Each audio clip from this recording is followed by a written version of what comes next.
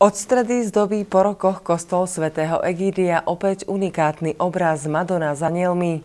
Kópiu originálneho diela, gravírovaného zlatom, sa podarilo v pomerne krátkom čase vyhotoviť mladému popradskému reštaurátorovi.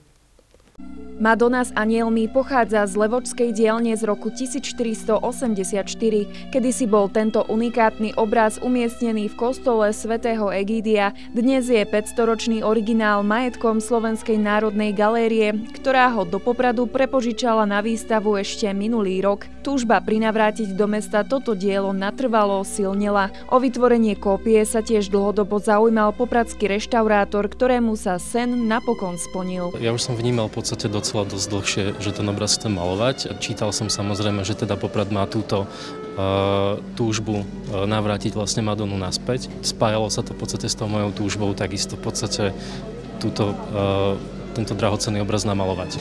Takže pre mňa to bolo naozaj akože veľmi zaujímavé, veľmi, veľmi proste neuveriteľné obdobie, ktoré som teraz zažil a naozaj som veľmi rád, že to teraz takto dopadlo. Technika maľby bola náročná. Išlo o klasický kriedový podklad, do ktorého bolo vyrité 24 karátové zlato. Tá technológia je v podstate naozaj akože taký ten prehľad alebo náhľad do toho 15. storočia, do tej tabulovej malby, ale v podstate som používal uh, dobové techniky, dobové pigmenty, ktoré som si aj sám vyrábal.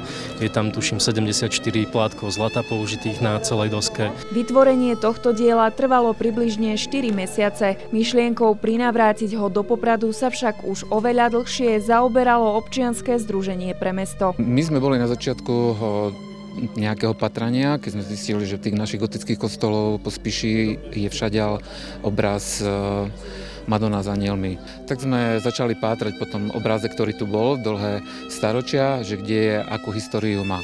A tento obraz je jeden z prvých vôbec v európskom regióne, ktorý je samovisiaci, dovtedy neexistovali.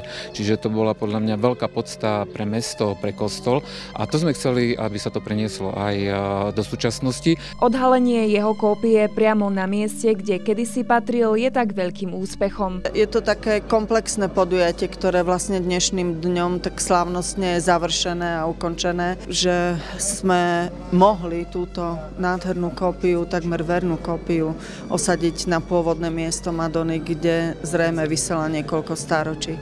Veľké poďakovanie Jankovi Gildenovi, ktorý ochotne a sám sa prihlásil, že toto dielo urobí pre Popračanov a že sa mu to naozaj skvelo, skvelo podarilo.